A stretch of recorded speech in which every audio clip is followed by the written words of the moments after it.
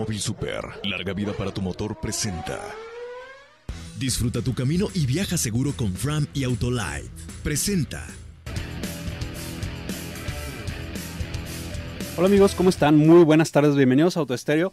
El día de hoy les vamos a platicar sobre el verdadero costo de tener un automóvil. Por ahí se dice que lo difícil de repente no es comprarlo, sino mantenerlo. Y bueno, vamos a platicar un poquito de todos esos costos que hay también en, el, pues en la propiedad de un automóvil. Bienvenidos.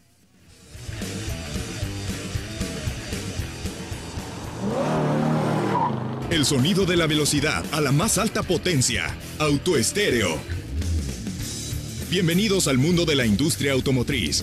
Al volante, Sergio Oliveira y Alonso Maldonado. ¡Arrancamos!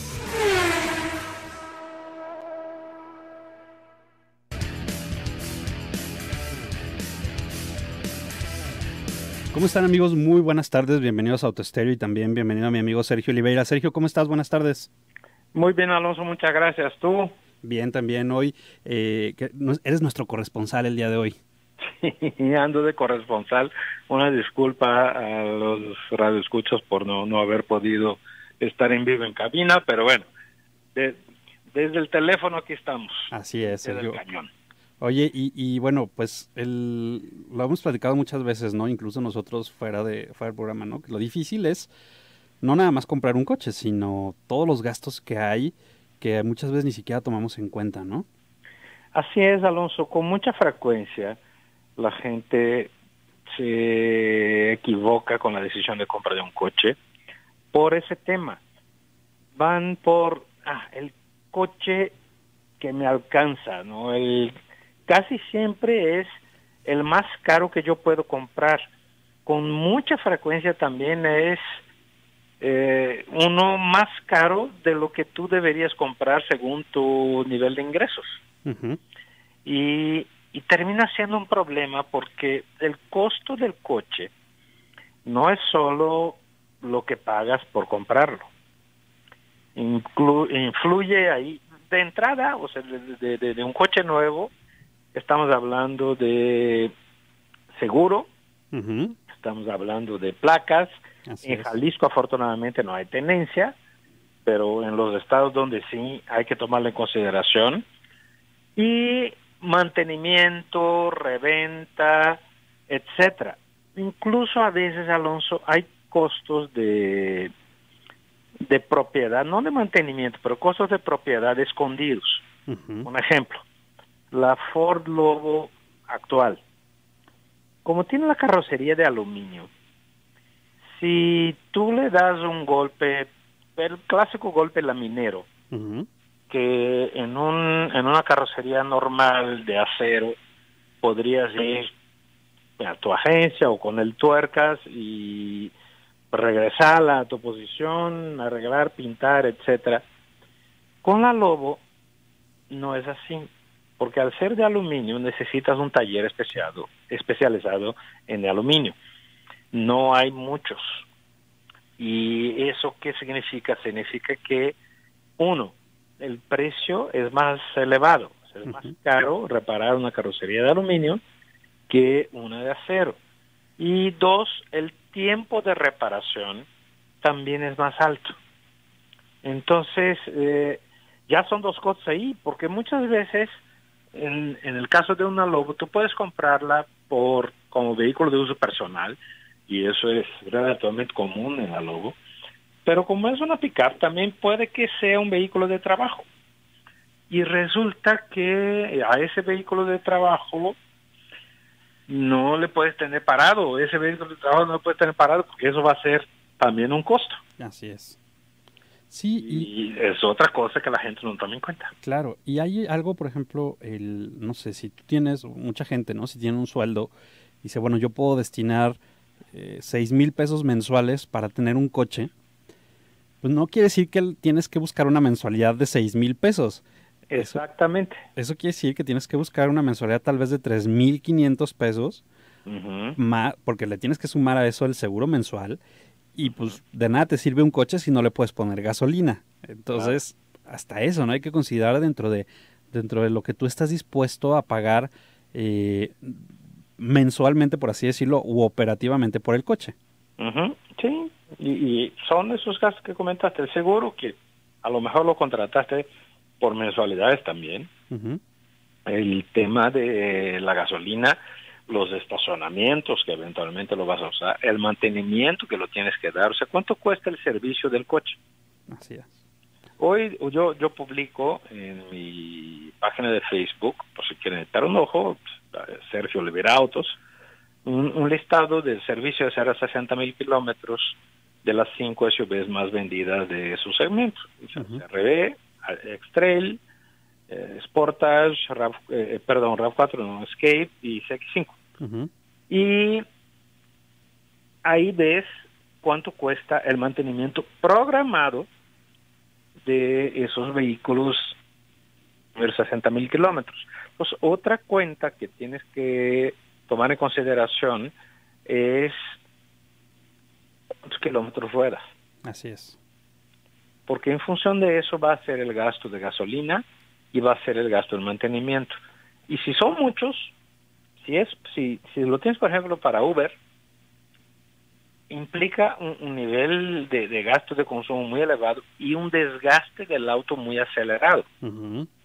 El desgaste acelerado también va a significar una pérdida muy fuerte a la hora de eh, revender. Sí, y por ejemplo, hay, hay, sí, sí, como tú lo acabas de mencionar ahorita, por ejemplo, muchos que lo utilizan para taxi ejecutivo, eh, incluso el, costo del servicio preventivo te lo, es mayor, porque te dicen, oye, ¿lo estás usando para trabajar? Sí.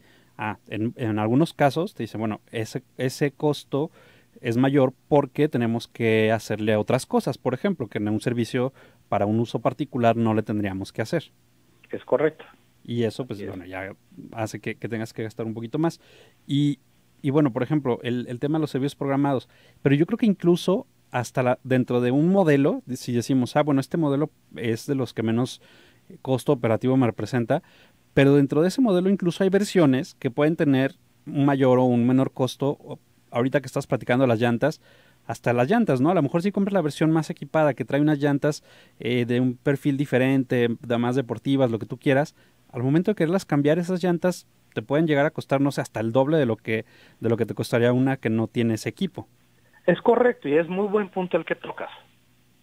También el muchas veces quieres el más equipado, ¿no? Ay, ¿por qué? Porque tiene pantallita y tiene quemacocos y tiene eh, pantalla, cámara de reversa, cosas por el estilo. Pero, pero eso puede implicar un costo más elevado. El tema de las llantas que mencionas es muy atinado porque las llantas de perfil menor y los rines de más pulgadas se ven muy bonitos, pero mientras más bajo el perfil, más eh, sujeto a, sufrir los problemas por caerse en baches que, que las llantas de perfil más alto. Así es. Entonces a todo el mundo nos gusta que la llanta se vea delgadita cuando la ves eh, de, lado, pero esas llantas no solo son más caras, también son más difíciles de conseguir y son más caras. Eh, entonces, son más caras, son más difíciles de conseguir y son más frágiles. Sí, y puedes terminar dañando, el, por ejemplo, incluso el rin. Más fácil. Así es, así es. Que también, pues no es nada, generalmente ya no es nada barato de, de reemplazar. Pero, Sergio, vamos a un corte comercial, ¿te parece? Sí, claro. Vamos, les recuerdo nuestros números en cabina que son 3122 4200, 3122 4266 y también el número de WhatsApp para que nos hagan llegar sus preguntas que es 33 18 80 76 41. Voces e ideas. Zona 3, 91.5. Síguenos en Facebook e Instagram como Zona 3 Noticias. Amigos, ya estamos de regreso con ustedes aquí en Autoestereo y estamos platicando, Sergio y yo, sobre este tema de los costos, que el costo que implica tener un coche, o sea, que no nada más es comprarlo, sino también pues convivir con él, mantener, hacerlo operativo, reparar todo eso y, bueno, incluso hasta el costo de seguro también, ¿no, Sergio? Es correcto. Ahora, hablamos durante la primera mitad del programa, Alonso, sobre los costos de mantenimiento de un auto nuevo.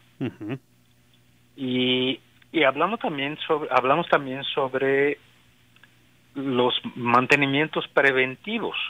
O sea, el precio del servicio que ya viene previsto cuando compras un auto en la póliza de servicio. Ah, sí, cada unos 10, 5, 15 mil kilómetros, dependiendo del auto. Por ejemplo, Alfa Romeo es cada 35 mil. Eh, y cuando, cuando ves eh, ese costo, en general ya está predeterminado, puedes calcular. Sí. Pero también necesitas entender que los autos son, tal vez mal comparando, pero son como un ser humano.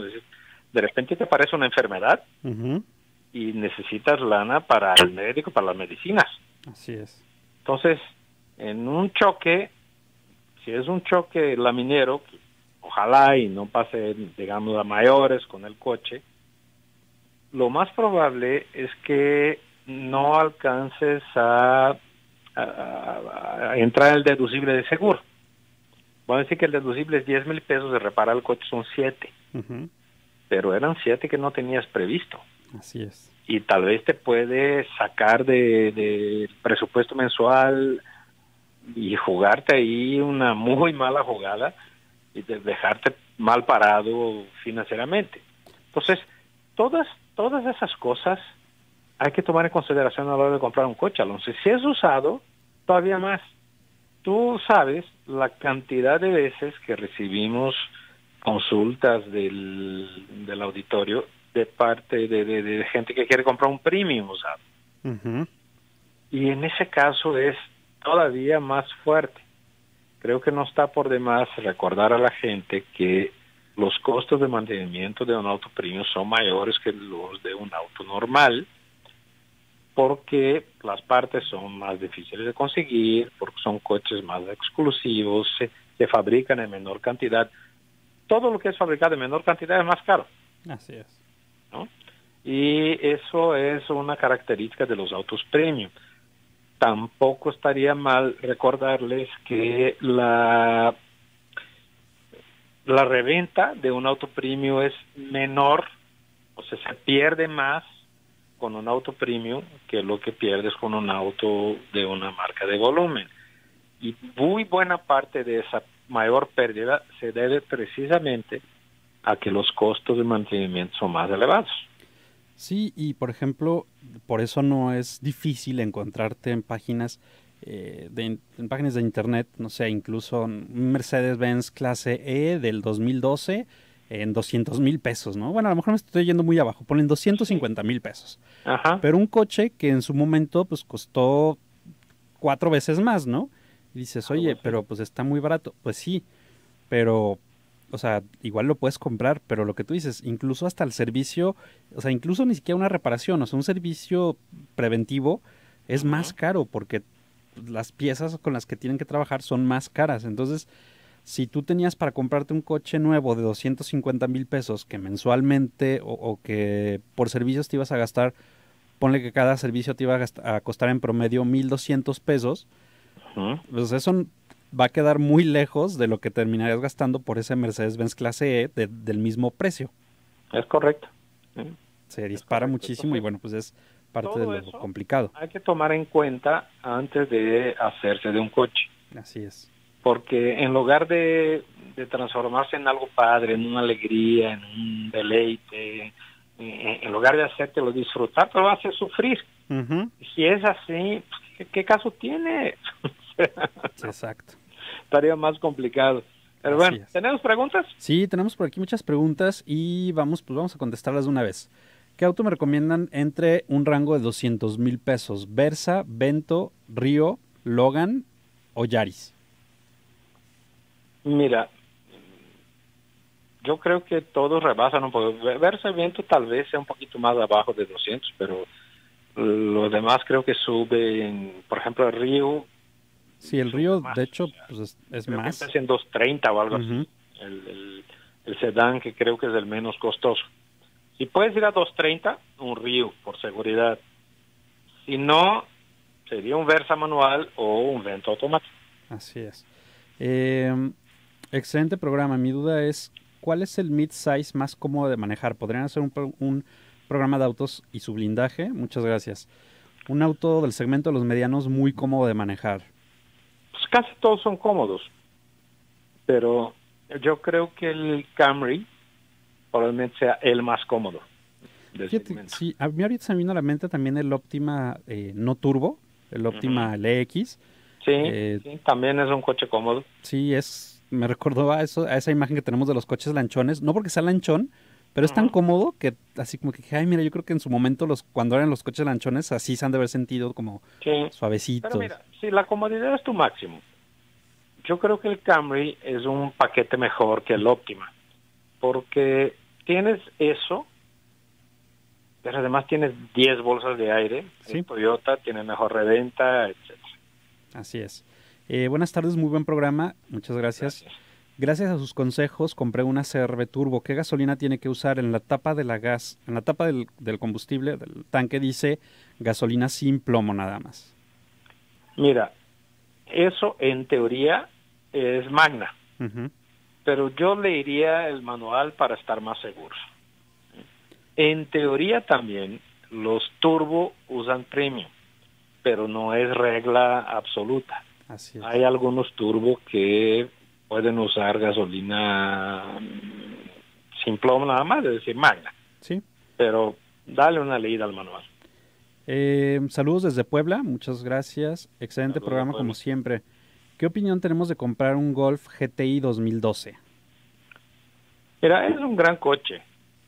Es, creo que 2012 todavía la generación anterior y no era así la más emocionante de los GTI, pero es tan buen coche como siempre ha sido el Golf. Sí, ahí nada más la recomendación sería llevarlo bien a la agencia que lo revisen porque seguramente es un coche que ya estuvo muy correteado, ¿no? Es lo más probable. Eh, ¿Cuáles son las mejores opciones de pickup chica con doble cabina o media? ¿Nissan NP300, automática o manual? Mira, automática tienes que ir hasta diésel, hasta las versiones de arriba de 500 mil pesos.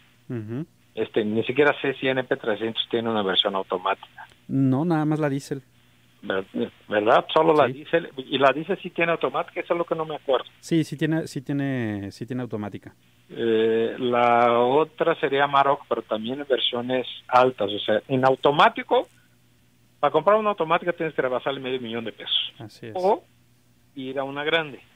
O sea, por alrededor de 430 tienes con, con bueno, pero son cabinas sencillas eh, un Silverado, cosas así, puedes conseguir por medio de medio millón de pesos. Pero cuando pones la palabra automática y camioneta mediana o chica, te complica el asunto.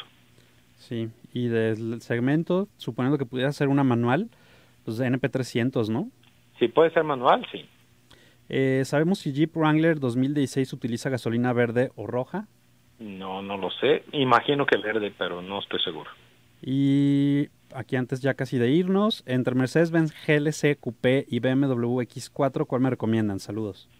Mira, no he manejado la GLC, entonces te debo una opinión más precisa.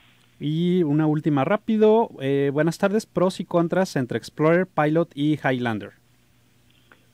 Yo me iría por la Highlander nueva, por comodidad, seguridad, eficiencia, reventa, etcétera. Muy buena camioneta. ¿Va? Muchas gracias, Sergio. Gracias, amigos. Aquí nos vemos el día de mañana a 3.30 de la tarde. Gracias.